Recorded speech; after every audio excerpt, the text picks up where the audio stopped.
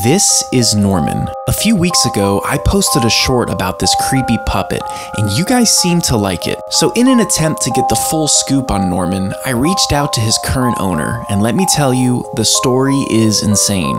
Check out the full video on my channel page.